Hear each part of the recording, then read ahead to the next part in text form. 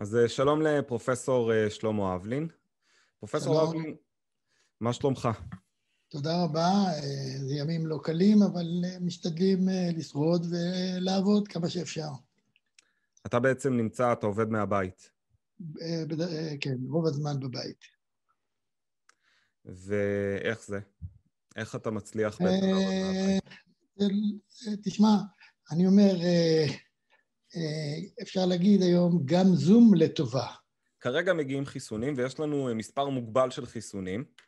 אה, מדברים על מיליון או על שני מיליון חיסונים שמגיעים כרגע של חברת פייזר.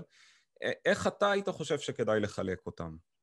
אני חושב שכדאי לחלק אותם, אז ככה, טובתי האישית כמובן, אם הייתי חושב רק על עצמי, אז uh, כמובן, אני בגיל uh, מבוגר, בגיל 78, אז אני חושב שאני הייתי לוקח, אם הייתי חושב רק על עצמי, אבל אם אני חושב על מדיניות כללית, על איך לעצור את המגפה, הייתי מציע לנסות למצוא ולחסן את האנשים שהם הם, הכי הרבה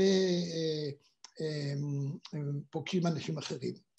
הם אלה שיכולים, אם מחסנים אותם, צריכים, צריכים הרבה פחות, הרבה פחות מנות חיסון בשביל לחסן את האוכלוסייה.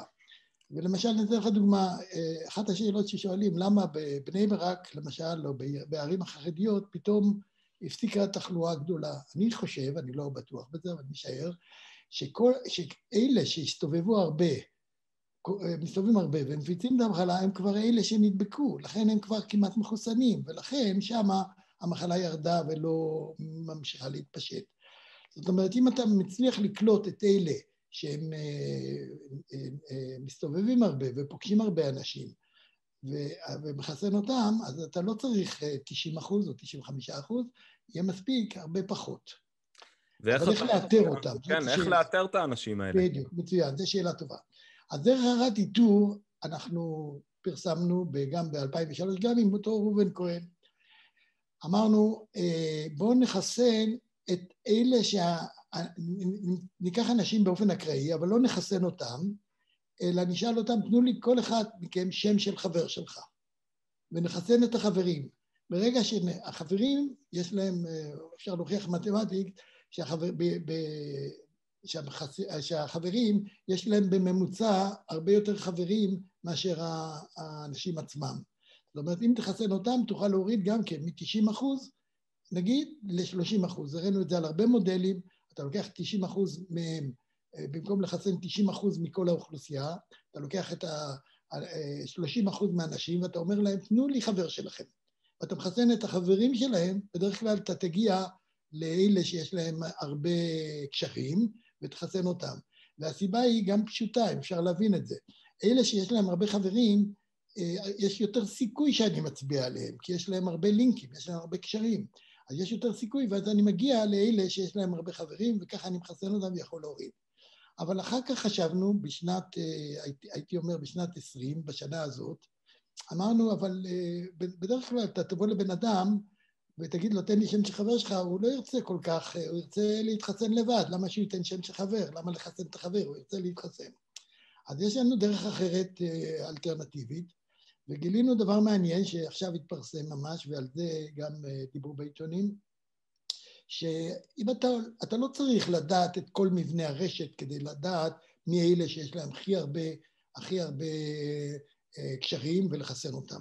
מספיק אם תיקח עשרה אנשים באופן אקראי ותיתן להם למלא שאלון ותראה כמה אנשים כל אחד נפגש, או, או, או תוכל לדעת מהם מי זה שיש לו אחד מעשרה האלה שיש לו הכי הרבה חברים, זה כבר מספיק להוריד את מספר המנות חיסון בפקטור של שלוש. זאת אומרת, במקום 90 אחוז, תוכל לחסן 30 אחוז ולעצור את המגפה. זאת אומרת, אה, מאותה סיבה אתה עושה, אבל, אבל היופי הוא שאתה לא צריך אפילו 100 אנשים, אפילו שישה, שמונה, עשרה אנשים, תיקח את זה שהכי מקושר ביניהם, אתה יכול כבר להוריד את החיסון מ-90 אחוז ל-20-30 אחוז. זאת אומרת, להוריד את מנות החיסון, זאת אומרת, אם יש מחסור בחיסון, כדאי לעשות אה, שיטות איך למצוא את אלה שהם אה, הכי הרבה יש להם הכי הרבה קשרים, לחסן אותם, וככה לחסן את כל האוכלוסייה בצורה אה, יעילה. אתה יודע, הרעיון הוא נשמע מאוד יפה ומאוד הגיוני, אבל הקובעי מדיניות, אה, באיזשהו מקום יש להם גם את המגבלה של דעת הקהל. אתה חושב שהם יהיו מסוגלים לא לחסן את האנשים אה, המבוגרים? נכון, זה, זה בעיה של דעת קהל, אבל מעניין שאתמול דווקא כתב לי אימייל אחד העיתונאים, הוא אמר שהמטה של ביידן בארצות הברית מתעניין בשיטה הזו, והם... הם, הוא העביר להם את השיטה הזו, זאת אומרת, הנשיא הנבחר, הוא העביר להם את השיטה הזו. אני בטוח שיש קושי. הקושי הוא שלא אה, לחסן אנשים, אה, אנשים שהם אה, נגיד בסיכון, זה לא נשמע יפה. אבל, אבל אם אנחנו חושבים מדעית, מה יותר כדאי באופן, למדינה לחסן, אז ברור שיותר כדאי לחסן את אלה שיותר מקושרים, ויש דרכים פשוטות למצוא אותם. ולחסן אותם. אני, אני רוצה, שלמה, לעבור ברשותך למבט קצת יותר רחב אה, לגבי כל הנושא הזה של מודלים. בעשורים האחרונים אתה אה, פרסמת אה, הרבה מאוד מאמרים מאוד משפיעים, שהייתי אומר, המכנה המשותף שלהם, שכולם בעצם מייצרים איזשהו סוג של תחזית. אם זה תחזיות אקלימיות, או תחזיות על יציבות של רשת האינטרנט, תחזיות על קשרים חברתיים, אה, תחזיות על רשת החשמל והיציבות שלה. האם יש אה, תחזית אחת שאתה גאה בה במיוחד, איזשהו מודל שבסופו של דבר אה, נתן ניבוי מצוין למציאות, ואחר כך אתה אמרת לעצמך, וואו, עשיתי את זה. יש, יש כמה דברים שעשינו השלכות. השלכות של רשתות, של התיאוריה של הרשתות, היא רשתות בתחבורה. היום אנחנו מבינים שרשתות בתחבורה של עיר או בין ערים או דברים כאלה מאוד חשובים, מאוד חשובה, ואנחנו יכולים היום להבין על ידי מספר אחד מה מצב התחבורה בעיר.